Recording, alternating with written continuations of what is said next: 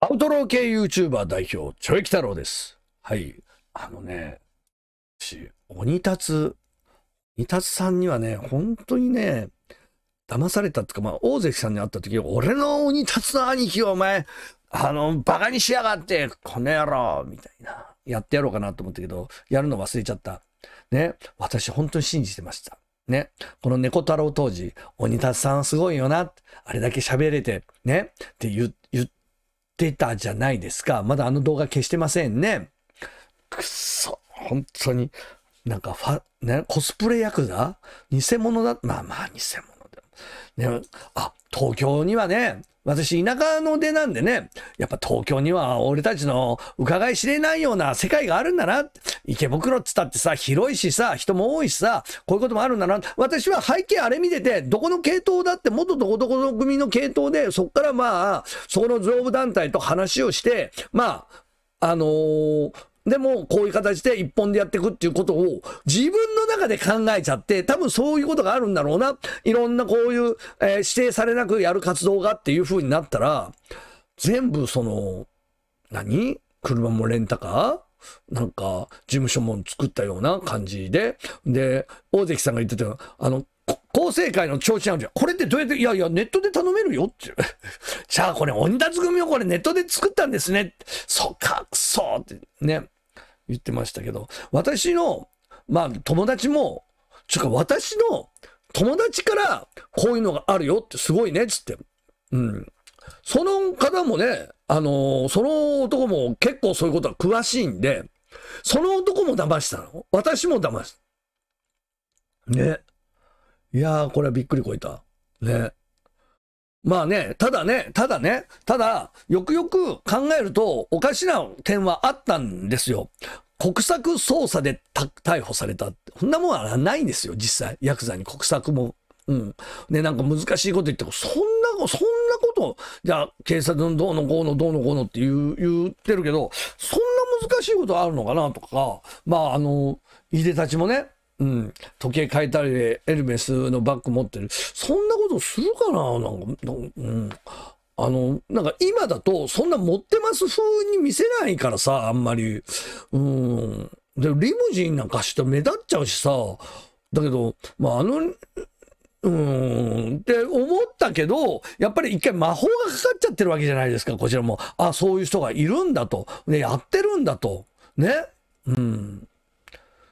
じゃあさ、思うんだけどさ、じゃあ私は気になってたんだけど、その、インタビュー形式なわけじゃない。単独で喋ってないから、インタビューしてた人は知ってたのかな？その人もわからないで、そうやってやってたのかな？ねだから、なんか、インタビューの人が、ちょっと、聞き方が意地悪っぽい聞き方っていうか、その、リスペクトしてるようには思えないんですよね。うん。あの、なんかこう、なんていうのかさ、それは、聞きにくいこと聞くっていうのはいいんだけど、あの、なんかちょっと小馬鹿にしたような聞き方してるから、ちょっとなんか、俺の鬼達さんにそんな聞き方しなくてもいいんじゃないかなと思思ってたら、分かってるからそういう風になっちゃうのかな、やっぱり。ね 俺の鬼達さんとか言って。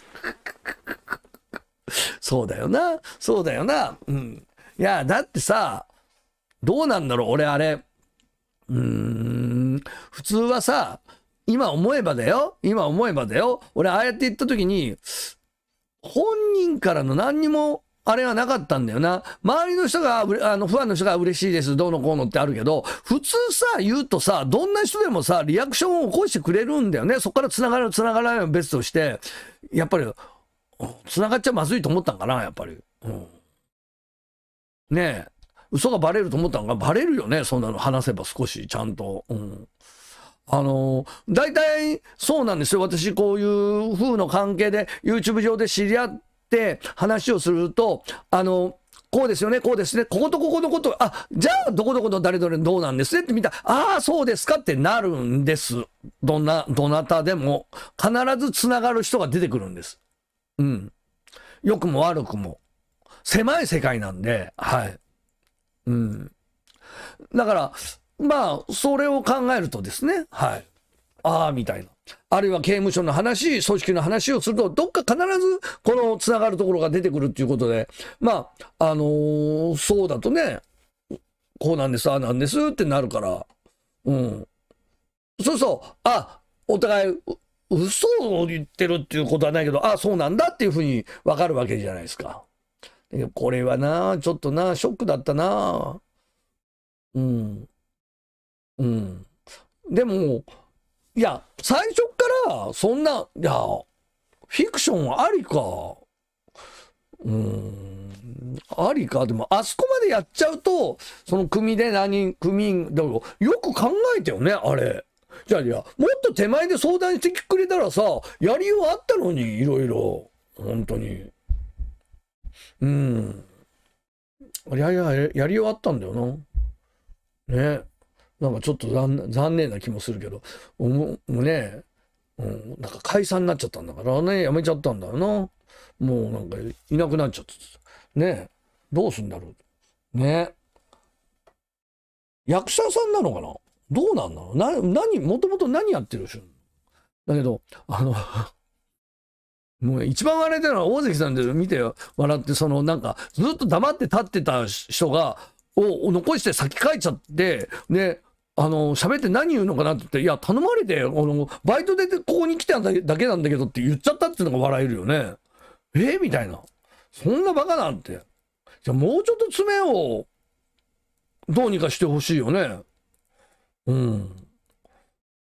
ずっとその、なんか、その感覚とししては、ずっとこう、なんか長く長く話して、金を取ろうと。ね。俺をこんなに怒らしてるんだから、金払えみたいなことを、を、言わせようとして長く長く喋ってる大関さんそれ応じないから、応じないから、うん。それがずっとずっと長くね、ああ、はあ、のらりこらり、のらりこらりして、結局もうどうにもなんねえやつって言って。ほんで、いろんなヤクザの名刺を見せてくるらしいですわ。俺はここと付き合いがある、ここが付き合いだ。こんなバカですよね。もうその時点で偽ですよね。そのことしないですから、現役の人は間違いなくしないですから。うん、その名刺もね、どこでどうやってあの手に入れたか分かんないですけど、なんかヤフオクとかで買ったのかもしれませんね、それは。あの、普通相手のこと思ったら出さないです。出さないです。うん、それを。だって、変な話、何々組組長とか何々頭、何々本部長っていうものを出して、それが大関さんが逆にその名刺を見て、ね、見たから怖かった、脅されたって言ったら、その名刺の人パクられますよ。今。あの、起訴される、されないじゃないけど、交流はされますよ。この名称出してっていうぐらい、まあ実際そこまでね、もうそれを使って、この人がこうやって言ってるっていう文言だったら、その可能性もあるんですよ。あの、引っ張られて聴取取られて4発ぐらい食らう可能性はあるんですよ。だから絶対に人の名称なんかを人の前で出しちゃダメなんですよ。うん。だからそういうことをもう分かってないんだから、うん、ダメだな、みたいな。うん。まあね、一般のね、仕事でもね、誰々知ってるって、名刺じゃんけんみたいな、この人知ってる、この人知ってるみたいな、やるやつはろくなもんはいないですわ、正直言って。そんなの。まともの人たちそんなこと、名刺、自分の名刺ケースから出して、この人知ってますなんて並べているようなことをするような一人いたわ、そういうおかしなやつが。本当に。うん。名刺のあれを交換しましょう。で、その名刺がある人と繋がらせてくださいって。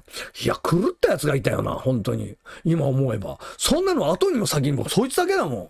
すげえやつがいたわ、本当に。この鬼立つからその狂ったやつを思い出したな。うん、びっくりした、本当に。ね、その人の名刺を見せてどうで、そういう仕事ってみんなするんですか？一般の企業の方でも、営業の方とか。自分が知ってる、自分がもらった名刺をその並べて、私これ知ってますよ、なんて。ないでしょ。それをヤクザの名刺でやるっていうのはやっぱりおかしいなっていういう話です。以上です。